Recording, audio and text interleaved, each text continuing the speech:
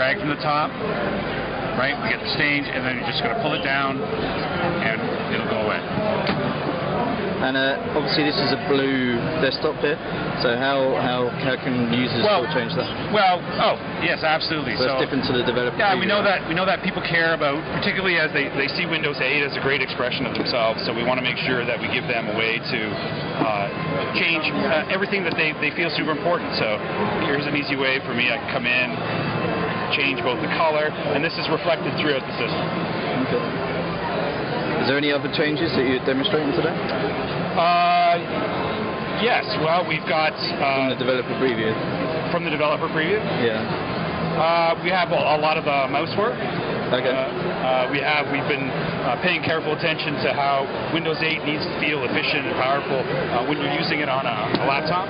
Okay. And so we've built in uh, a lot of ways to do things efficiently and fast and fluid with with the kind of input that comes with laptops with the mouse and the keyboard. Okay. Can you could you show me a couple of those? So right away, you can see the difference between uh, uh, in- in logging in with uh, touch and logging in with the keyboard. I want to use my keyboard, so it's as fast as, as doing that. You can see that scrolling through the start menu when we do it with the finger, you would expect it to work one way, but of course with the mouse, you want to see things, you know, the the, the, tab, the scroll bar.